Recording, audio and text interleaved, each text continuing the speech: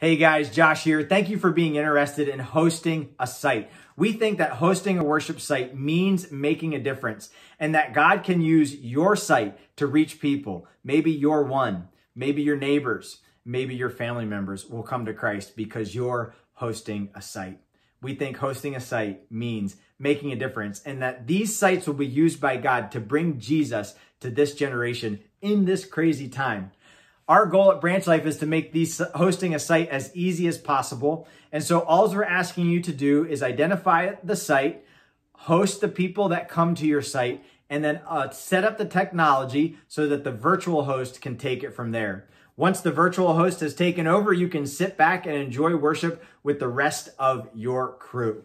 So we want to talk to you about what it means to host a site and some of the different details and levels uh, that each site can propose. As a host, it's up to you to decide your safety precautions, your level of childcare, and how many people can attend your site. You will also decide whether your site is a closed or open site. Then let me go through each of those. First of all, childcare. You don't have to have children at your site. You don't have to provide childcare at your site. You can simply allow it to be family worship. Or you can go to that next level and say, yes, we will provide childcare, a separate child program at our site for kids. And that can be as simple as putting on the YouTube worship for kids in another room or uh, setting up a volunteer to watch kids in a basement or in another classroom, depending on where your site is.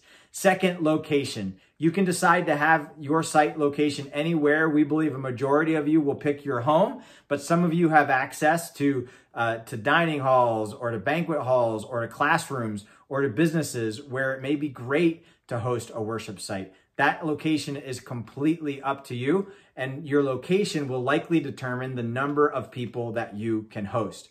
Maybe you're a high risk individual and you can only have certain people that you're already quarantined to at your site. We would love for that to be a site and we would love for that to be designated as a site just for you and another family. In that case, it would be a small number of people. And maybe some of you could host as many as 15 or 20 people at one time. That all depends. We will just we will just highlight those numbers and whether or not there are spaces available as you instruct us to in our website.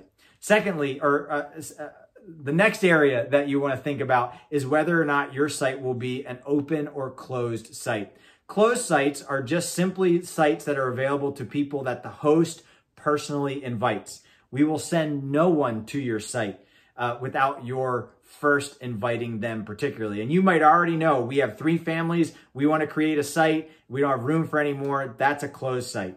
But maybe you have a site that has room for one, two, or three more families, and you can designate your site as an open site. If somebody registers and they're interested in your site, we will have a conversation together about inviting them to your site or whether we pass along the information that the site is filled. Again, nobody will show up unannounced to your site. They won't know where your site is or who is uh, hosting sites. That'll all be done privately behind the scenes. And lastly, safety precautions.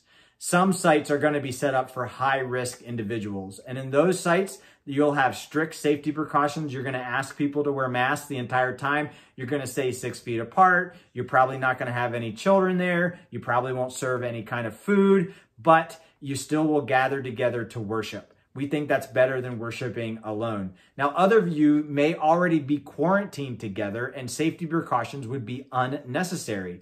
So you would just wear masks when around other when around other individuals. Um, you you would have limited social distancing. That would be completely up to you and your quarantine.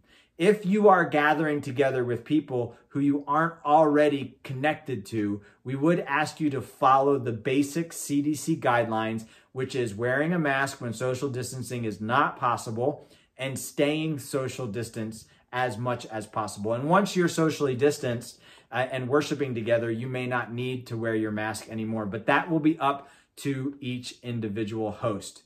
Hosts with loose, uh, loose restrictions will be called green sites. Places with moderate uh, restrictions will be yellow sites, and places with strict restrictions will be red sites. And we'd love to have some of each because we believe that some people will thrive in each of those different settings. So hosting a site means simply making some of those decisions, making your space available and registering with us. If you're at all interested to be used by God in this way, would you let us know by filling out the registration at the bottom of this page?